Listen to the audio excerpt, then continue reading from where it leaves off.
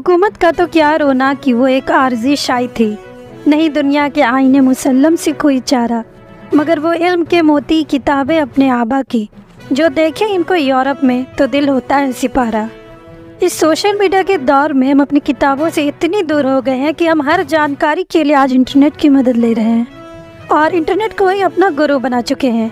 ऐसे में इस बात पर गौर करना ज़रूरी हो गया है कि जानकारी हम जिससे ले रहे हैं उसमें कितनी सच्चाई है।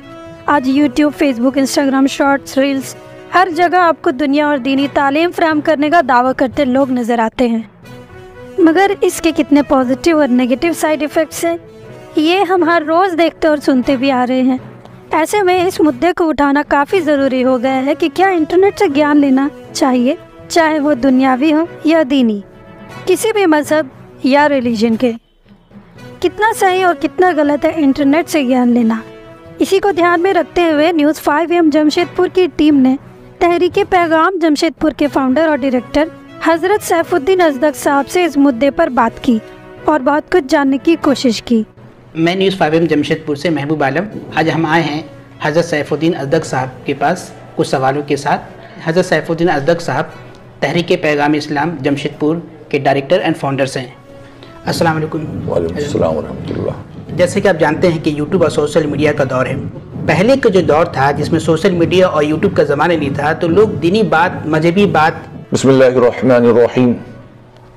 सबसे पहले इब्तदाई ज़माने की हम बात करते हैं। तो उस वक्त किसी के बारे में जब मालूम होता था कि ये फ़लाँ आलिम दीन है फ़लाँ फ़की हैं फ़लाँ मुहदस हैं तो लोग बहुत लंबा लंबा सफ़र किया करते थे।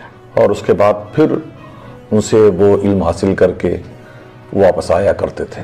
उसके बाद ज़माना तरक्की किया ज़रा की कसरत हुई। अब उलमा के सामने जानू तलमुस तय करते थे मदारिस कायम हुए बाद हर शेख अपनी मस्जिद में ही उनकी दरसगाह हुआ करती थी। और फिर उसके बाद फिर किताबों के ज़रिया लोगों ने इल्म हासिल करना शुरू किया। तो फिर वो उलमा के साथ साथ उन किताबों के ज़रिया जो है इल्म का सिलसिला आगे बढ़ने लगा। आज के लोग जो है दीनी बात जो है ज़्यादातर यूट्यूब और सोशल मीडिया और शॉर्ट्स वगैरह से भी सीखते हैं। ये कितना ऑथेंटिक है। अच्छा सवाल आपने किया है। आज हाल क्या है? गूगल मास्टर के पास गए। गूगल को अपना टीचर अपना उस्ताद अपना मुअल्लिम और मुर्शिद बना लिया है। इस तरह की जो किताबें हैं इस तरह की जो बातें मिलती हैं उनको पढ़ करके हम समझते हैं कि वो सीख लिया या कोई भी बयान करने वाला बयान करता है।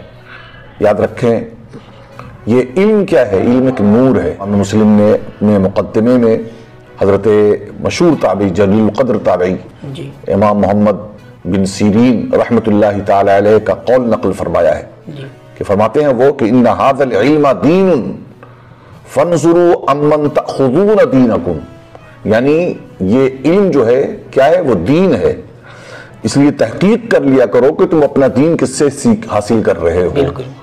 तो ज़ाहिर है कि आप जब गूगल मास्टर के पास जाएँगे आप तो वहाँ तो कादियानियों ने भी यहूदियों ने भी नसरानियों ने भी मुलहिदीन ने भी तहरीफ करके ना जाने कैसी कैसी चीज़ें डाल रखी हैं।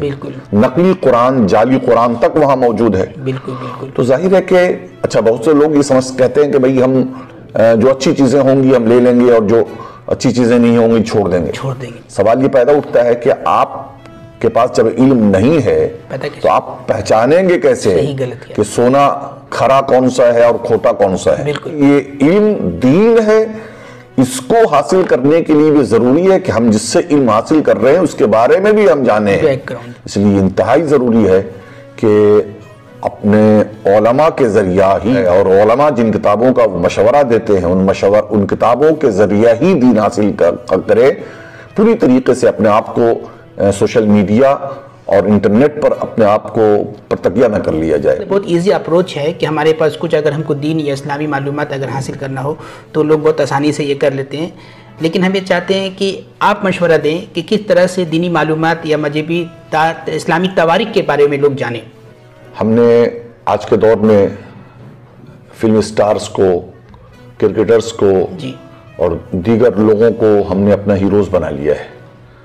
असल हीरोज हमारी तारीख की किताबों में छुपे हुए हैं। बेशक। और उसके लिए ज़रूरी है कि हम अब किताबों का मुताला करें। और ठीक है यूट्यूब पर भी बहुत सारे अच्छे लोग काम कर रहे हैं। अभी आप आए हैं मुझसे सवाल आपने किया। आपका भी यूट्यूब चैनल जी हमारा भी अपना भी यूट्यूब चैनल है अलजक ऑफिशियल तो जुमे के जो बयान होते हैं उस जुमा के बयान उसमें हम लोग अपलोड करते हैं।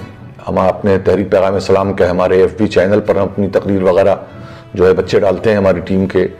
तो मकसद यही होता है कि ज़्यादा से ज़्यादा अच्छी बात लोगों तक पहुँच सके और लोग उससे फ़ायदा हासिल करें। आज इंतहाई ज़रूरी है कि हम किताबों की तरफ़ लौटें। ये देखें ये किताबें हैं लाइब्रेरियाँ हैं रखी हुई हैं। आज हाल ये हो गया है कि अच्छे लोग ओलमा का भी एक तबका जो है हमारे इमा का भी एक तबका है अफसोस के साथ कहना पड़ता है। और दीगर फील्ड्स में पढ़े लिखे लोगों का भी हाल है कि उनको भी पढ़ने का मौका नहीं है। हमारा समाही रसाला एक निकलता है जाम शहूद। तीन महीने में एक बार। हाल ये होता है कि लोग उसको लेने के लिए तैयार नहीं है। पढ़ने का मौका कहाँ है? पढ़ने का वक्त कहाँ है? कई पढ़े लिखे इमाम और आलिम ने कहा पढ़ने का वक्त कहा तो मुझे बल्कि तब भी करनी पड़ी कि जब आप जैसे लोग ये कहेंगे कि किताब पढ़ने का मौका कहाँ है तो आवाम किधर जाएगी। तो मैं बस नौजवानों से और अपने नई नस्ल से ये कहना चाहता हूँ, किताबों से अपना ताल्लुक ज़रूर कायम करें और दीगर मसरूफियात के साथ साथ आपके मुताले की मेज़ पर कुछ किताबें ज़रूर होनी चाहिए। हमारे बिछड़ने की वजह यह भी है और हम, हमें दुनिया की खबर इसलिए भी नहीं है कि हम अपनी तारीख नहीं जानते। किताबों से हमारा हमारा ताल्लुक टूटता चला गया है। वरना पहले तकरीबन हर घर में कुछ ना कुछ किताबें हुआ करती थी छोटी सी लाइब्रेरी हुआ करती थी। बेशक बेशक। लेकिन आज दादा जान चले गए बाबा जान उर्दू पढ़ना नहीं जानते हैं। तो किताबें या किताबों से ताल्लुक नहीं है तो किताबें वो दीमक खोरदा हो रही हैं बर्बाद हो रही हैं ख़त्म हो रही हैं। तो इस जनरेशन तक जो है वो किताबों के मुताला का शौक पैदा करना ये बहुत ज़रूरी है। मैं नौजवानों से यही कहूँगा कि किताबों से अपना ताल्लुक कायम करें। हाथ से बहुत सारी जानकारी हासिल हुई और ये बात भी सच है। ठीक है यूट्यूब सोशल मीडिया का दौर है, हमारी मजबूरी है, नए नस्ल की मजबूरी है। लेकिन हाँ ये बात उन्होंने बहुत अच्छी कहा कि बैकग्राउंड जानना बहुत ज़रूरी है, ठीक है? जैसे सैफुद्दीन अदक साहब का भी यूट्यूब चैनल है, ठीक है? ये आपके सराउंडिंग आसपास समाज का एक बहुत बड़े आलिम है, रहनुमा है हमारे, ठीक है? आप इनका भी यूट्यूब चैनल देख सकते हैं। यूट्यूब के ज़रिए भी हम छोटी छोटी बहुत कीमती मालूम हासिल कर सकते हैं। इसी के साथ मैं महबूब आलम जमशेदपुर से।